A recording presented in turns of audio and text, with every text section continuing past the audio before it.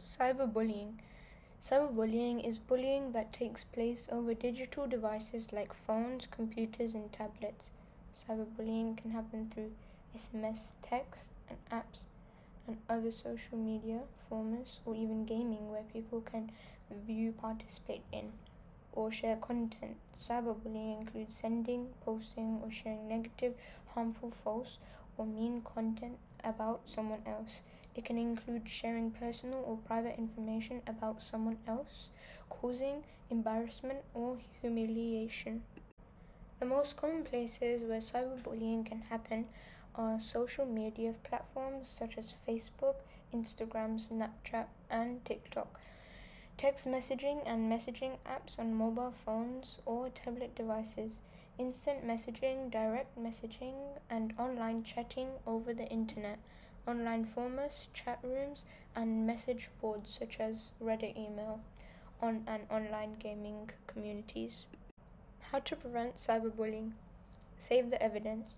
The only good thing about bullying online is that it can usually be captured, saved, and shown to someone who can help. Tell the person to stop. This is completely up to you. Don't do it if you don't feel comfortable doing it. You may need practice beforehand with someone you trust, like a parent or a good friend. Reach out for help, especially if the behavior is really getting to you. You deserve backup. See if there's someone who can listen, help you process what's going on, and work through it. A friend or relative, maybe an adult you trust. Protect your account. Don't share your passwords with anyone, even your closest friends. Protect your phone so no one can use it to impersonate you.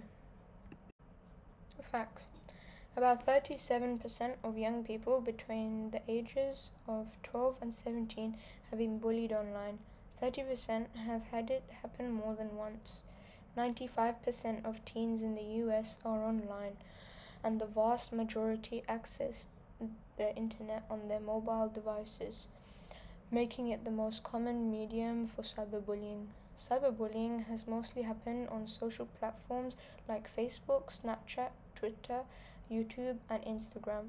Overall, 68% of people have, be, uh, have been sent a nasty private message, and 39% of people said they had a nasty comment posted on their profile.